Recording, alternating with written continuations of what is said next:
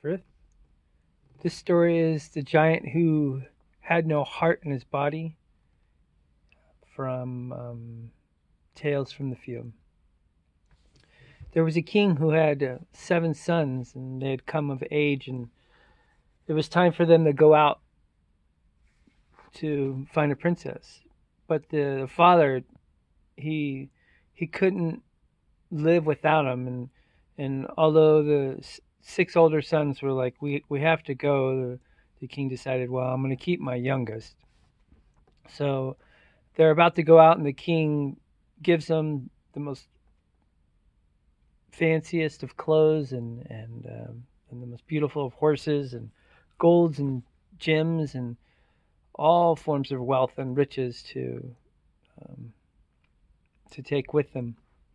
And he's like, the only the only thing I wish is that on your journey that you also find a princess for your younger brother. And so they agree and go on a journey and and search from one king to another and kingdom to another and eventually end up far, far away uh, where this one kingdom uh, had six princesses and and they were the most beautiful princesses they ever had seen. So they spent days and days and days wooing and, and trying to win their hearts. And finally, um, they accomplished that and, and marry and, and are returning back to their father, having long forgotten that they were supposed to find a, someone for for their younger brother.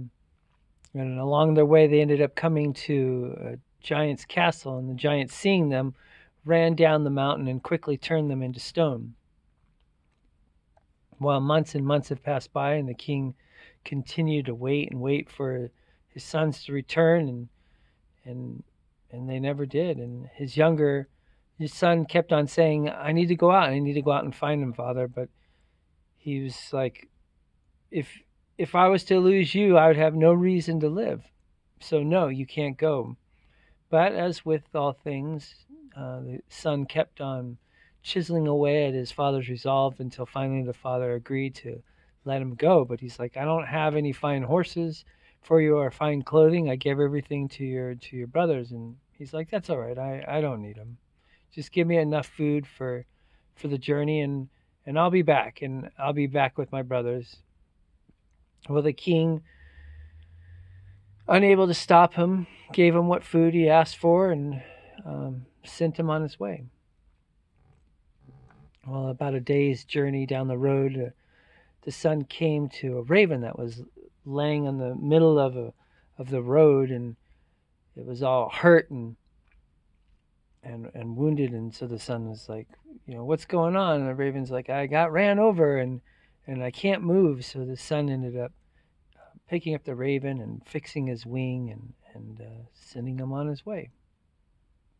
And then uh, after another day's journey, the father or the son comes up to uh, a river and, and he's about to cross it when he notices this huge salmon flopping on the side. And the salmon's like, Help me, help me. I got um, thrown out of the water and I can't get back in. And, and so the younger son's like, oh, Well, all right. So he pushes the salmon back into the water and sends him on his way. The son crosses the, the river and heads further down the trail when he comes to this wolf that had hadn't been hadn't had any food for weeks and weeks and was starving and, and, and dying. And, and the wolf's like please please i need food i need food. And so the son's like you know i i only have so much but here here you go. And, and he offers the food to the wolf and the wolf uh, thanks him and tells him uh, you know, you know, I will one day help you. And the son's like, I don't see how you can help me, but um, but I'm on a journey looking for my brothers. And the wolf's like, oh, uh, one day's journey from here, there's a, a giant's castle, and and he, you'll see that your your brothers and and their wives had been turned into stone. Well, at this point, the son was, you know, very frightened because what is he going to be able to do? He's he's not going to be able to beat a giant, much less deal with its magic and and but you know he wanted his brothers, so he's like, "What am I to do?" And the wolf's like, "Don't don't worry about it. during the way day, during the day the giant goes out and uh, so you can sneak up on the side there's a small door and you go inside and you'll find a maiden and she will tell you what to do so the son decided well you know that's the best plan that i got and so he goes there and waits behind a rock watching the castle until sure enough the giant leaves for the day and so he walks up around the side and finds the door that the wolf had told him about. And he opens it and walks down the hall and comes to this most beautiful maiden that he's ever seen. And she looks at him and she's like, What are you doing? You're going to die here. And he's, he ends up telling her the story about his brothers and about how he was here to save them and um, how he didn't know how he was going to do it, but he, he had to fight the giant somehow. And, and the maiden's like, No, no, no, no. I'll tell you what to do. Go hide under his bed, and, and then I will talk to him, and we'll try to figure out what we can do. So the son ends up hiding under the bed, and when the giant comes home, and he brings home a, um, a, a cow that he had found in a field to eat for dinner, and he's sniffing around. He's like, "What's that smell? It smells like smells like there's some other human in here." And and the maiden's like, no, no, there was a magpie that flew over the house and dropped a, an arm down the chimney. And I, I tried to get rid of it as fast as I can, but you know, that, that smell, that stench, it, it just sticks around. And so the giant's like, well, all right, whatever. And um, cooks, his, cooks up his cow and has a nice feast. And he's sitting there rocking on his huge chair and he's in a good mood, and the and the maiden's like, "Where, where? Can I ask you a question?" He's like, "Sure, sure, sure, anything you want." And she's like, "Where is your heart? How is it that you can live without your heart?" And the giant's chuckling and stuff. Oh, uh, I, you know, I don't need it as long as it's near me. I, I can survive. And she's like, well, "Where is it?" And he's like, "Well, I'm not going to tell you." But then after a couple of minutes, he's like, "Well, I'm fond of you. Why not? It's right there underneath." um, right before the door underneath one of the slabs. Well, night passes and the giant goes to sleep, and and uh, and the maiden and the and the son were like, "All right, in the morning we will uh, we'll get the heart." And so in the morning, the giant goes out like he does every day, and they run over to the front door, and they're picking one slap after another after another, but there's no heart. And the maiden's like, "Ah, he, I've been fooled, I've been tricked," and and and that's okay. We'll try it again tonight. So to cover up all that they had done, she took a bunch of flowers and strewed them all over the ground. And, and then once again, the son hid under the bed. And as the giant returned home, and he looked down on the floor, he's like, "What is this?" And she's like, "Well, I." I was sitting around and I was thinking about your heart and how, you know, I, I couldn't believe that you just leave it there and i felt bad so i just thought i'd strew a bunch of flowers around the floor and in, in honor and, and, and to show love and the giant's like oh you silly lady my heart's not there and she's like what, what do you mean what do you mean he's like I, I wouldn't put my heart under the floor it's in the cabinet over there so then once again giant falls asleep and the son and the maiden make a plan, and in the morning they'll go searching through the cabinets, try to find the heart. And so in the morning the giant leaves, and they go rummaging through all the cabins, and they don't find the heart. And again, the the maiden's like, ah, he fooled us again. I can't believe it. He's always playing with my heart and my mind. And so she again takes flowers and strews them all over the cabinets to try to hide from hide what they had been doing and searching for. And and again, all right, tonight I'll try again and we'll see about uh, if he'll tell us where his heart is. So the uh, the son hides under the bed and Giant comes home again and he sees the cabinets. He's like, "What is all this?" And the maiden's just like, "Well, I I was just thinking about your heart and how you're just leaving it in this." in the cabinets and, and it's dusty and, and spiderwebby and stuff and I just I couldn't stand it so I thought I'd lighten things up and, and, to honor you with flowers and stuff. And the giant shakes his head again and he's like, You silly, silly woman. There's no, my heart's not in there. My heart's far away. You'll never see it. So again, he had brought home food and he'd cooked it and filled his belly, but he's as the food was cooking, he also noticed the smell of another human around. He starts sniffing and he's like, "What's that smell?" And the man's like, "Oh no, it was just another another magpie came by and uh, and threw an arm down the chimney, and I tried to get rid of it as quick as I can because I know how you can't stand the smell of of humans except me and but I this the smell lingers and stuff so I'm sorry.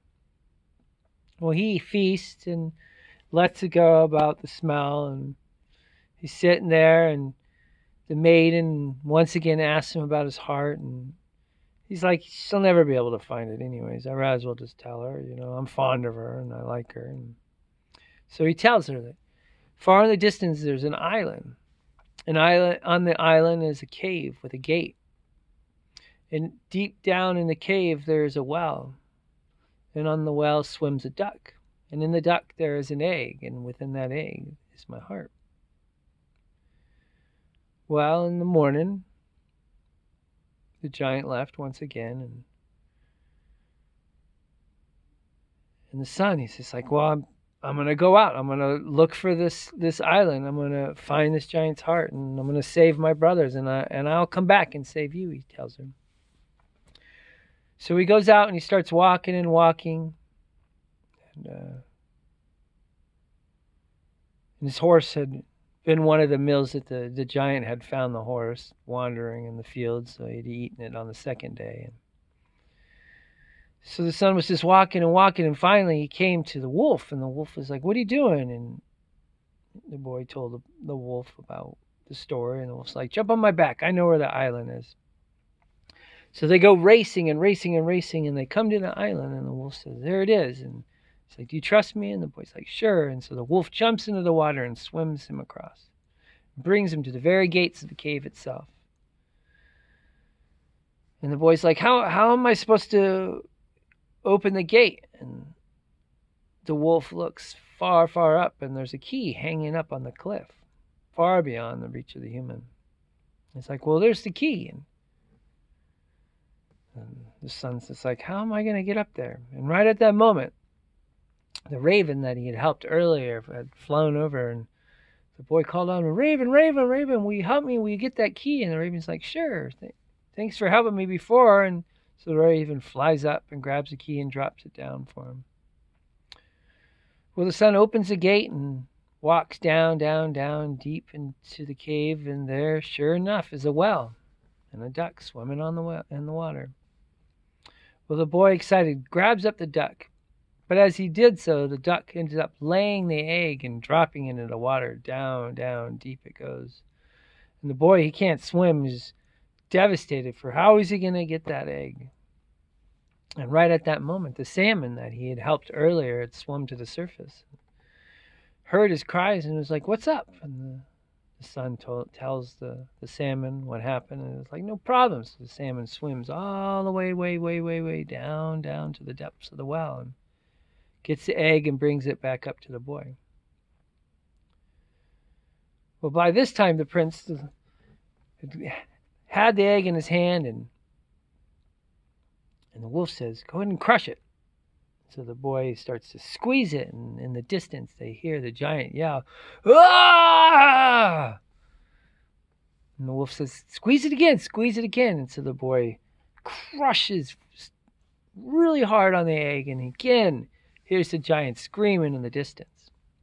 And the boy's about to crush it all the way, and the wolf says, No, no, no, wait, wait, wait. Ask the giant first to fix your, your brothers and, and their wives. So, so the prince goes and hunts out the giant and shows that he has the egg before the giant is able to harm him. And he says, I will I will give you back your heart, but you must release my brothers and, and their wives. And so the giant was about to agree, and he's like, "Oh, and the maiden." And the, and the giant's like, uh, you know, but and then and then the younger son's like about to crush it, and the giant's like, "All right," so he agrees, and so he does his thing and he's like, they're free now. So give me my heart. And the boy's about to give the giant the heart, and the wolf's like, no, no, no, what are you doing? And so the wolf tells him, drop it on the ground and stomp on it. So the boy, listening to the wolf, drops the egg on the ground and stomps on it. And the giant roars most the loudest roar that you can imagine, and then instantly turns into stone himself, becoming a giant mountain.